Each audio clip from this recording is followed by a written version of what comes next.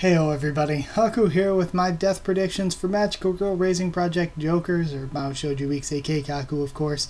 I was originally going to do this as part of the read-through as one video, as the, kind of like the first part of the video, but I'm actually going to separate it into two videos, so sorry this is pushing back the read-through even longer. I'm going to record the read-through straight after this, but I'm not going to post it until tomorrow from when you're seeing this, so uh, yeah, sorry about that. But it's probably not going to be that much longer, even though it's tomorrow for me, because I'll probably post this like right before I go to bed, and then I'll post that first thing in the morning. Um, so, yeah, it's not going to be that long between the two. Um, but either way, I wanted to do this before I continued reading because we had just been introduced to all of the characters, and I didn't want to read through and then a character die and be like, well, that takes away from my predictions. But the way I did this is the way I've done it kind of in the past, where I kind of gave a percentage that I think they'll die, a percentage I think they'll live, and my reasoning on it. So, uh, yeah, that's what we're going to discuss through here. And I, even though we're like halfway through and no one's died yet, my predictions aren't looking too hot for most of them. I predicted that like 11 of them would have a higher chance of dying than living, and only 5 I have with a higher chance of living than dying. So I guess in the end, I will uh, list those as sort of my top 5 most likely to survive anyway. But either way, without further ado, sorry that this intro was kind of messy. I wasn't actually expecting to do this as its own separate video, and that's why. Um, so yeah, without further ado, let's talk about them. And I'm going to start with Snow White here because Snow White is the only one where I have an absolute certainty in my percentages. Snow White percent of death, zero. Percent of living, 100%. Snow White is not dying this arc. She's a main character. And we have at least two arcs coming after this with Queens and uh, Aces. I'm not actually sure which order they're in. I think Queens is next, then Aces, but I might be wrong. Uh, but I feel like those two arcs seem like they're going to be related to this one from what people have said. Uh, not spoilery, but still. Um, and we've heard a group called the Aces mentioned before, so it kind of makes me think that that's what that arc's going to be about. But either way, I think at least for those next two arcs, Snow White's pretty safe, uh, since they seem to be related and she's a main character. So 100% chance of life. Next up is Stunt Chica. Stunt Chica, I'm given a 70% chance of dying and a 30% chance of living. Because I think Stunt Chica is pretty mysterious right now. Uh, and if she doesn't get developed further, I think that that will lead to her dying before she gets developed further. But I also have kind of a theory that Stunt Chica could be an antagonist character. She could be leading them into fighting each other. She could be leading them into a bad situation. And she just seems like this innocent, like speechless clown, but she's actually plotting everything behind uh, everyone's backs. I get the feeling Stunt Chica could be an antagonist. So yeah, giving her 70% chance of death. Um, then we have Lady Proud. Lady Proud's actually another one. I give her a high percent chance of living. I gave her 15% chance of death and 85% chance to live. Uh, because her story is all about her becoming like qualified enough or having a reason showing people that she should be leader of I think it's foreign affairs division that she's in now that Maou Pam is gone. Um, and because of that, her story makes sense for her to live for now. Uh, there's not really a lot of point in killing her off and kind of leaving the Foreign Affairs Division even more floundering. Um, there's not a whole ton of reason to do that, but it is possible. That's why it's not 100% or anything. But her story kind of makes sense for her to live and go on and uh, be a part of leading that division. Uh, for Umbren, I'm giving her a 40% chance of death and a 60% chance of life. Again, one of the five with a higher chance of living. And I think that Umbren's kind of less important. I don't really see a big reason for her to die. I don't think her death would terribly change Lady Proud. Um, I think that if anything, she would survive in a boring way, kind of like Mana. I love Mana, but she survived in kind of a boring way. I kind of see that for Umbren uh, where I doubt she'll get developed a whole ton or change a whole ton. uh, but she'll probably survive. Uh, Nanako had a or Nanako-san had a really good story, so kind of surviving like Nanako-san too. Uh, but Nanako-san is probably gonna have a lot better of a story than what Umbren's gonna have here. Um, so then Marika Fukuroi, I give a 65% chance of dying and 35% chance of living, because uh, I could see her getting the lap lapis lazuli treatment, where she's like a fan favorite who's a really cool fan favorite who's a really cool fighter and everything, and then she just dies anyway. So yeah, I could see Marika, I could totally see getting the lapis lazuli treatment. Then Styler Mimi, 60% chance of dying and 40% chance of living. Um, because we see from her perspective quite a lot actually, so it makes it a bit difficult to tell, which is why it's close to 50 50. But I'd compare her to kind of like Funny Trick, or maybe Detec Bell was similar in a way too, where we saw from their perspective a lot. Uh, but they still ended up dying. They developed a bit, but ended up dying anyway. I feel like Styler Mimi is kind of in that sort of position. Uh, Filuru, high chance of dying here. Filuru, 80% chance of death, 20% chance of living. This is where we're getting into some high death chances. Um, and I say it that way because I really, really want her to live. So she probably won't. Uh, she seems just too pure for this world, and so she isn't long for this world. So Filuru, high chance of death. High chance of death. Kafuria is is she my highest chance of death on the list? I think she is. Kafuria is my highest chance of death on the list. 95% chance of dying, only this 5% chance of living because her power is awesome and will totally be used against her in some sort of ironic way. She has the power of seeing who dies next, so either she's gonna see that she dies next and be like, ah, shit, until it happens, or it's going to be some situation where something tricky happens where she dies and doesn't expect it. Of course, her having that power basically sealed her fate. Uh, I nearly 100% chance of Kafuria dying. She could survive, but I don't see it. Um, Uttakatta 75. The freelancers are not doing good in my predictions. Uh, Uttakatta 75% chance of death and 25% chance uh, to live because I just, as of yet, I don't see any reason for her to live right now. Um, so yeah, she doesn't. She.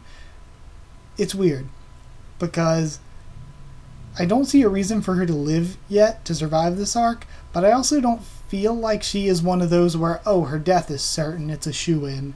So yeah, 75-25 for her. For Grimheart, 55% chance of dying, 45% chance of living. Now this was originally going to be much worse. I was originally like, oh, Grimheart's totally going to die. But then I remembered the, the next one is called Queens, and I was like, oh, she seems like she would fit in in an arc called Queens, or either the one after that is Queens. So I was like, she would totally fit in an arc called Queens, so Grimheart might actually survive. Uh, and in addition to that, she's important to sort of the noble, higher workings of uh, the land of magic. Why even is somebody that important where she is right now? That's kind of weird. Yeah, but either way, we'll find out in the future, I'm sure. Uh, yeah, 55 45. It's the closest I think I have to 50 50. Yeah, it is the closest I have to 50 50. Because I originally thought she was definitely going to die, but then I remembered, oh yeah, Queens. She'll probably be in Queens. This is, other than Snow White, my second highest chance to live. Uh, Shufflin, 5 per, like the opposite of what Kafuria is. Shufflin, 5% chance of dying, 95% chance to live. Uh, I just get the feeling Shufflin's going to live, especially if my prediction of her power is correct. My prediction of her power is something kind of clone related. If she can make clones, that's kind of more of a chance of dying, but I think, what I think is there's going to be 52 Shufflins. At least, maybe if you count the Jokers, there'll be, hey, that might be that might be it. Maybe the 52 Shufflins will die, but the Jokers will live. Um, but yeah, I think there's a whole deck of Shufflin out there. I think there's multiple of her, and I think that's her magical skill. And so she can die this arc and yet still live. A couple of her could die, but a couple of her live. So I think Shufflin, because of what her, I think her power is, is probably going to live. I think there's a very small chance of her dying. Uh, Prism Cherry, given 60% chance of death and 40% chance of living. Um, she's sweet, she's main character like, so I could see her getting hit with the um, the postery or the um, what is it? Uh, what was her name again? Oh, the Pechka treatment. Because Postery and Pechka had these traditional magical girl type designs, just like Prism Cherry has, and I just feel like she could die because there can only be one Snow White. Um, so yeah, I think she could die for that. I also think it's possible she could live, and that's why I gave it close to a 50 50 because it depends on how the series is going to punish her character, and that sounds terrible, but it's one of those things where she's been keeping this stuff from the pure elements. And we know that this series, bad things happen to characters. Uh, so it depends. Are they going to punish Prism Cherry's character by having Prism Cherry die, or are they going to punish her, punish them by Prism Cherry living, but all of her friends, the pure elements, because they're artificial magical girls, they're going to die. So I give Prism Cherry a higher chance of dying because I think she's going to be the one to die. But I do think there is also a good chance that she could live to see her friends die. Um, and that would change her as a character, obviously. So it all depends on how her character's sad, tragic story is going to go down. Um, next up, we just have the pure elements. That's what we're down to. Uh, Inferno, I'm given an 80% chance of death and 20% chance of living. I huge chance of dying there because she doesn't have too much of a reason to live through this arc. And another thing is that Tempest has this rivalry towards her. Tempest is kind of like always like she's she's Tempest Dinkleberg essentially. Every time something goes wrong, Tempest shaking her fist. Uh, it's always Inferno's fault. So if Inferno dies, Tempest is going to be devastated because Tempest doesn't really hate her. Tempest is just a little kid that's upset at her. So, because of her immaturity and everything, she's going to feel like somebody died and she was never able to kind of be real friends and make up with that person. It's going to really negatively affect Tempest. So, that's why I think Inferno's like totally shoe in dying. Tempest, though, I'm still given a high chance of death 70% chance of death, 30% chance of living. Um, because I feel like Tempest could adapt and survive. It's possible because she's a little kid. She could figure out what's going on this arc. She could live. But I think she is more likely to die. Even if the stuff with Inferno happens, I still think Tempest would die in that situation. Uh, now for Quake, again, uh, I love Quake, one of my favorite characters. I love all of the characters. This is what makes me sad. I love the characters this arc. Um, so it makes me sad that I think basically they're all going to die. So I absolutely love them, but I think Quake is going to get 75% chance of death, 25% chance of living, uh, because she's the leader. If anybody's dying with the pure elements, I think she's going to take the responsibility and be like, I'm the leader, I need to protect them. And more of them could die, but I think Quake would possibly be the first or second of them to die uh, because she's the leader. She's going to be responsible. Um, I think also there's not a whole wealth of like future connections for Quake to make like there are with some other characters. So there's she doesn't have as much potential as a character if she does survive. So yeah, Quake, high chance of living too. And now for the final character and the fifth and final character that I gave a higher chance of living to, Deluge. I'm flipping it around and giving Deluge a 25% chance of death, but 75% chance of living. Um, it feels like she could play a further role in the story. I feel like with the artificial magical girls, having one of them survive would be really good. Now, I want all of them to survive, but having one survive could be good for the story to carry on and be an artificial magical girl in future arcs. And I think if any of them do that, it's probably going to be Deluge because of what we've seen of her backstory. She has the deepest and most most reliable backstory for a character that can carry on in the future arcs. I think uh, she can change the most and still continue on um, compared to what the others are. So I think she has a high chance of living because of that. And her friendship with Cherry could give her motivation. If her and Cherry are two surviving members of the Pure Elements, uh, then Cherry can be sort of her gateway to introduce her into working for the Land of Magic and everything. Or Cherry could die the rest of the pure elements could die, and Deluge could say, I want to take Cherry's place. I want to work with the official magical girls. I need to do good and to carry on Cherry's will. So uh, I think her friendship with Cherry could give her motivation. I think Deluge is uh, to have a good chance of surviving because of that. So let me figure out what are my orders in. Okay, so my top five that I think could survive. Fifth, Umbren, kind of a boring survival, but eh. Um, that was fifth. Then fourth most likely to survive, Deluge, because of the reasons I just said. Third most likely to survive would be Lady Proud, because I think that her story is totally set up for her to take over as the head of the Foreign Affairs Division and uh, sort of uh, play that role in the future coming stories. Because we we see stuff going on with like. Um, with like Fleur and Nanako-san and Pithy and all these characters from previous arcs, and I feel like Lady Proud kind of fits into what's going on there. Uh, so that's why I could see her living like that. Uh, second most likely to survive is Shufflin because I think it's going to be kind of hard to kill Shufflin. And because I think that some of her, or at least one of her, could die, but some of her will survive. Uh, so I totally see Shufflin living. Um, and then the most likely one to survive is going to be Snow White because I don't see any way Snow White is dying here.